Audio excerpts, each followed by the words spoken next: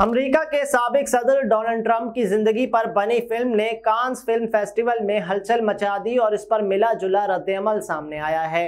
गैर मुल्की मीडिया के मुताबिक डोनाल्ड ट्रंप की ज़िंदगी पर बनी नई फ़िल्म का कांस फ़िल्म फेस्टिवल में वर्ल्ड प्रीमियर हुआ, जिसके बाद सबक सदर की तरफ़ से इस पर कानूनी कार्रवाई करने का इम्कान है।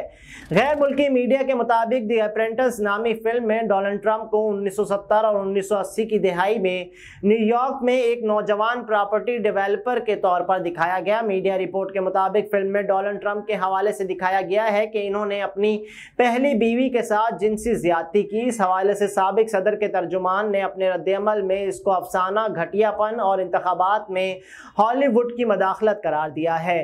गैर मुल्की मीडिया के मुताबिक माजी में तलाक की कार्रवाई के दौरान डोनाल्ड ट्रंप की पहली बीवी एल्वाना ने सबक सदर पर ज्यादती का इल्ज़ाम लगाया था। ताहम इन्होंने इस इल्ज़ाम को बाद में वापस ले लिया था और इनकी 2002 में मौत हो गई थी।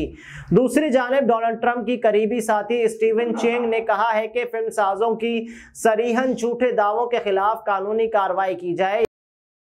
इस फ़िल्म के ईरानी डायरेक्टर अली अब्बासी ने सहाफ़ियों से गुफ्तु करते हुए कहा कि डोनाल्ड ट्रंप की टीम को हम पर मुकदमा करने से पहले फ़िल्म देखनी चाहिए।